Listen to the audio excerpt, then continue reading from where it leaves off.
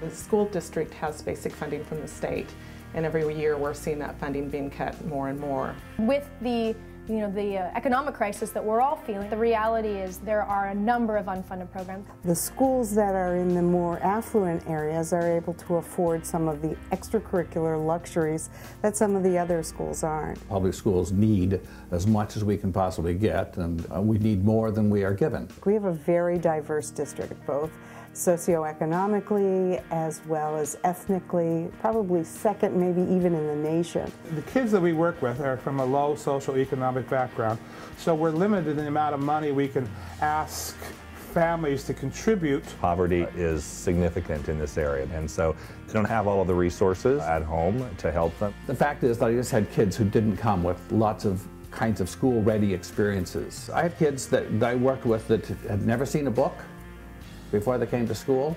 So the foundation can raise private funds to put things back in schools that maybe have been taken away. It was really established to level the playing field for the districts. We wanted to celebrate what teachers were doing in the classroom by offering financial support or resource support in other ways to allow them to be themselves and to support the efforts of, of these kids. We are never funding all that is necessary. When we give, like this year, we gave around $30,000 in Excel grants.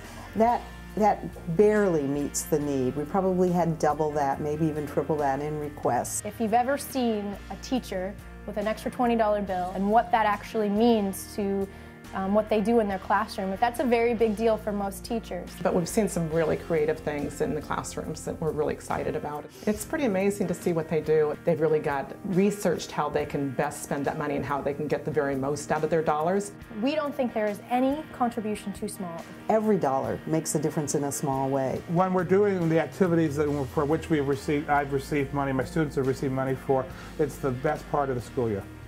Stronger schools make a stronger community. People want to live and work and move to a community where their schools are successful. And when they see outside organizations like a foundation and a committed group of community leaders helping the schools get stronger every day, then that's a place people want to be.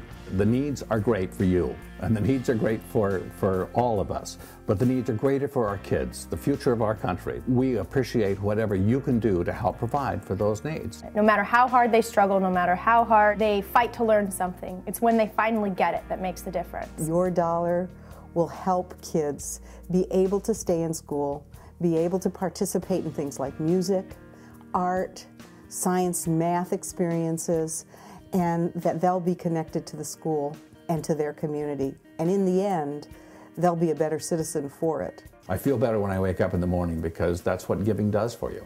Giving is, giving is truly getting, but it's, but it's, a, it's a nice way of getting. It's with the help of an organization like the Highline Schools Foundation that we can help our kids reach our vision of all kids prepared for college, career, and citizenship. And who wouldn't want to be a part of making a kid's dream come true?